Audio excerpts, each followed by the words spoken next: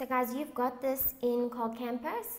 This is just an example of me taking a stock schedule from a client's information system and now trying to do some manipulation in order for me to recalculate costs, select samples, look for duplicate or missing numbers, zero or negatives using CAATs. Okay, so if you look at their calculation to get the rand amount, they've taken the quantity times by the cost to give the rand amount.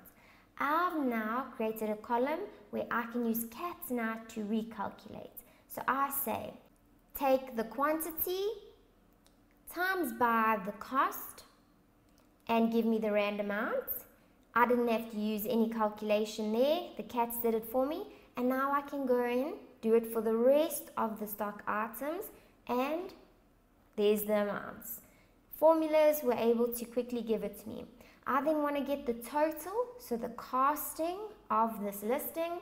So I can go and put in a formula to give me the total of my new calculations of the individual items.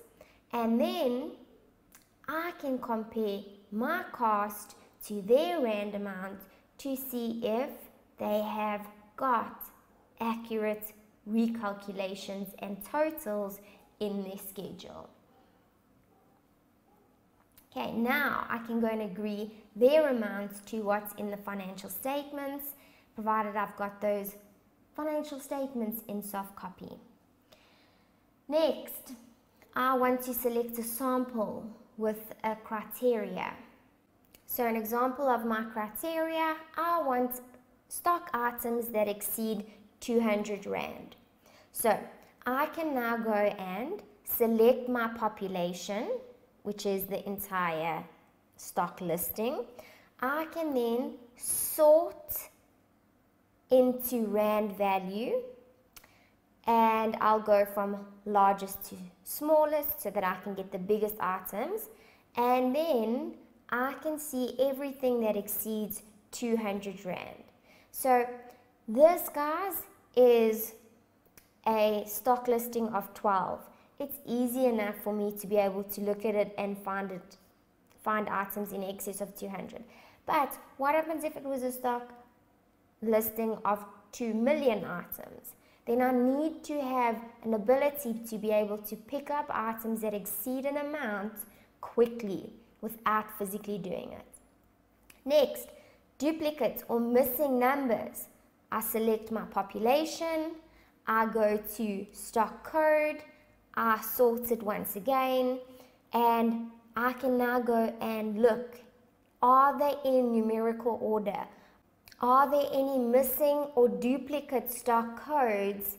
Easy enough for me to identify simply by sorting and using a technique available. Then looking for zero or negatives. I don't expect their stock schedule to have zero or negatives. I select my population, I go and sort rand value. Now I'm going to go smallest to largest and there you can see the smallest is 11,000. There's no zeros or negatives here. So this is just me showing you practically using Excel. The computer software that we have is way more advanced than simple Excel. So those techniques we've just looked at that CAATs can do, they can do it at a much higher level. They will actually pull out the duplicates or the missing numbers, or they actually pull out the samples without me here doing a sorting technique. This is just to show you very quickly with something you should be familiar with in the form of Excel. Okay, so now guys, I want you to open the list of procedures we had for each assertion. We're going to now work through those and update those procedures to use CAATs.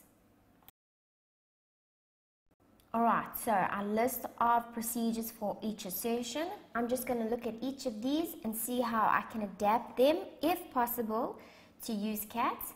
Guys, it's very simple, so make sure you do include it like this in a question. For completeness, you're selecting a sample from source documents, you're tracing to the journal.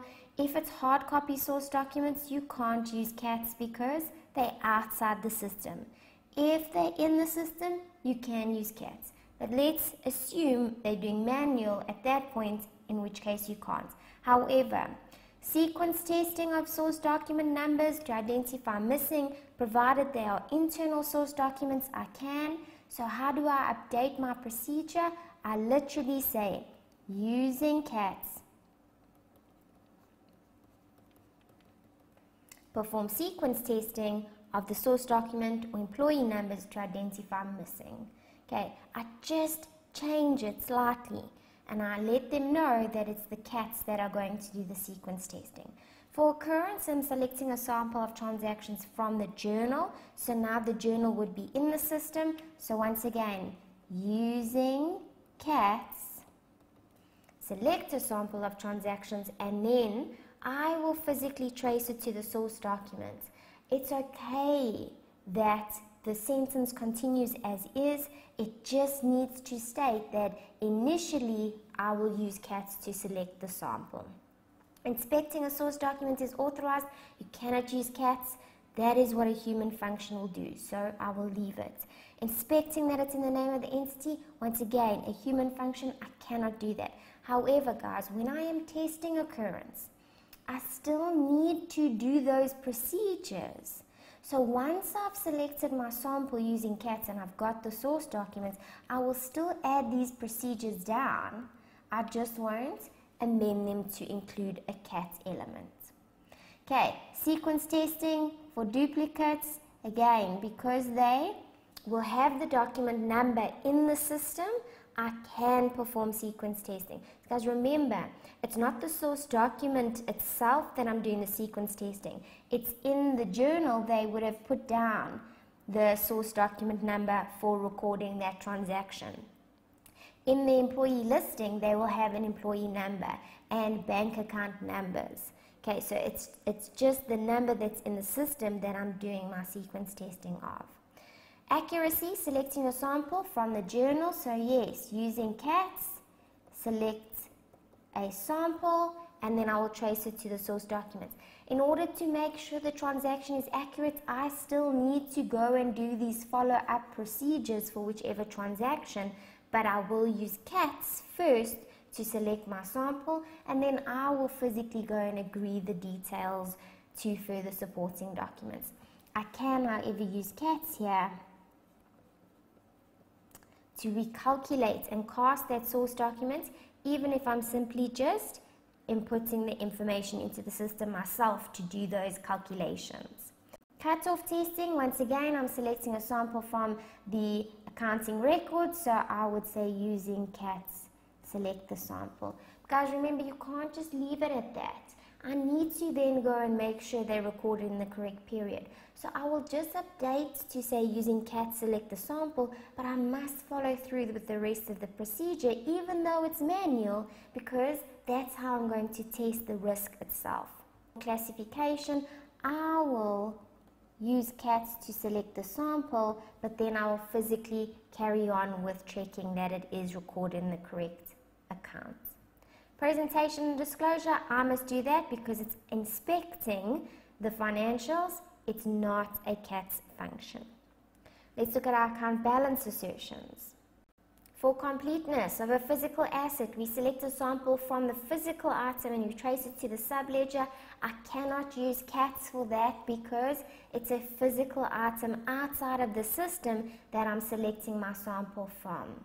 However, I can use CAATs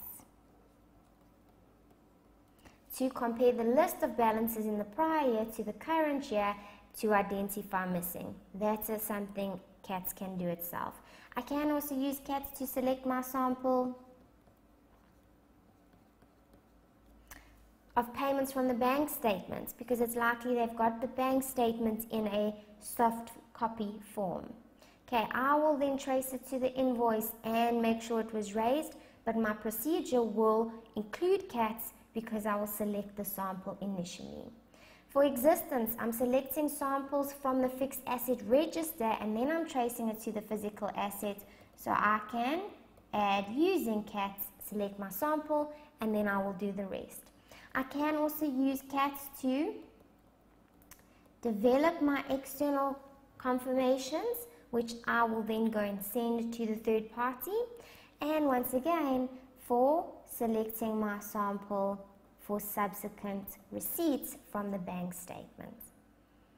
For valuation, I can use CAATs to do a reconciliation. I can compare the balance in the GL to the subledger. I must still follow up on reconciling items even though I won't use CAATs for that. Physical quantity counting, I can't use CAATs to do the physical count, but to agree the subledger to the count sheets, provided the count sheets are in soft copy, I can use CAATs to do that. And tracing it to the invoice, I will physically do so, I can't use CAATs. For my negative asset, guys, go and have a look at your ISA 540 procedures, but obtaining an understanding of the accounting policy, I've got to physically do, I can't use CAATs for that. But considering whether it's consistent, comparing the policy to last year, I can use CAATs. For reasonability, comparing it to the market, I can use CAATs because it's an analytical procedure. And then testing the calculation, I can use CAATs because the information is in the system. Getting an expert, I can't use CAATs. It's a physical function I will need to do to ask the experts.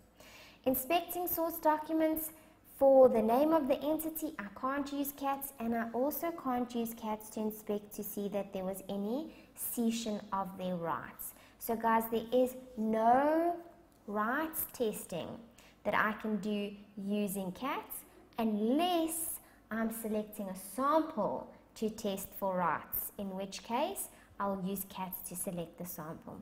And once again, nothing for presentation and disclosure because I will physically do that myself. Okay, that's all you have to do to incorporate CAATs in these procedures, but there are additional procedures we've already looked at where we can go and scan. We will use CAATs where we want to go and look for reports of outstanding or of transactions done by a specific person. I can use CAATs. So let's attempt a question, guys. This question is going to be out of six marks. So I'm going to give you two minutes reading time and nine minutes writing time.